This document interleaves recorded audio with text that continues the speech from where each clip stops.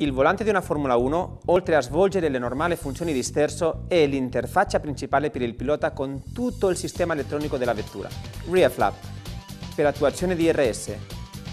K1, pulsante strategico per migliorare funzioni distribuite tra motore ed ERS. Neutral, disinnesca le marce. Speed limiter, velocità massima 80 km/h. DFIN, differenziale, regola rotazione indipendente pneumatici e trazione in curva.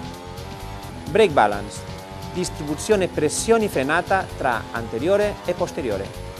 Torque, selezione delle mappe di coppia per maggior accelerazione in uscita curve. State of charge, gestione stato di carica, pacco batterie. Multifunction, simile ad un menu per selezionare varie strategie legate alla gestione motore, sistema ERS e brake balance. Strat. Gestione strategie dei motori elettrici per regolare l'erogazione della potenza. Fuel. Gestione strategie di benzina per consumo e prestazioni. Radio. Per comunicare con gli ingegneri di gara. K2. Simile al K1. Un pulsante Quick Change per strategie legate all'ERS. Detonation. Pulsante per Quick Change, strategie motore più 10 e meno 10. Selezione strategie presenti sul multifunction. Ok, conferma ricezione messaggi. PAM, pompa olio motore.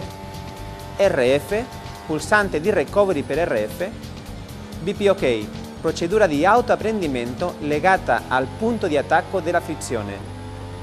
Burnout, limitatore più basso per favorire patinamento ruote. Start, selezione mappe di coppia partenza e pit stop. Wet, reimposta tutti i parametri per condizioni di bagnato. Nel 2013 i piloti effettuavano tre cambiamenti sul volante in media al giro. Nel 2014 circa il doppio. I piloti possono visualizzare una serie di informazioni sul display a colori. Il volante controlla il cambio. Ci sono 8 marce più la retro. Si fanno circa 8 volanti all'anno e ogni pilota dispone di una versione personalizzata per il posizionamento dei vari comandi. Il materiale usato è il carbonio e il peso è di circa 1.5 kg.